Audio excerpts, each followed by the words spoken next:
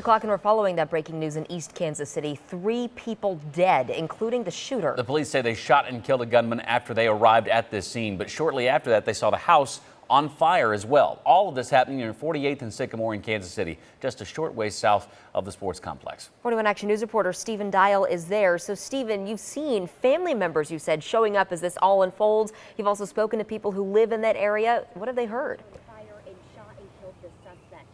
Well, a neighbor told us they heard gunshots and hearing a car speed away. All of this while a very quick active shooter situation was going on early this morning, just around 2:30. Take a look at video from the scene that we shot when the scene was very active. According to police, they say three people are dead. They say the suspect came out of a home after police took place outside of the home when they noticed a woman's body in the front of the home. The suspect came outside, started firing shots at police, according to investigators.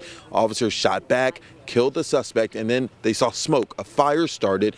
Firefighters quickly arrived on the scene, went in the home, put out the fire, and discovered another body inside the home. Two female victims who uh, they believe this suspect um, shot and killed. And so uh, we investigation is continuing. Take a listen at what the public information officer said about them preparing for this situation with the fire department. It's a worst case scenario at that point. I mean, it being an active shooter, that's uh, in the news quite a bit lately, but we uh, train for it constantly.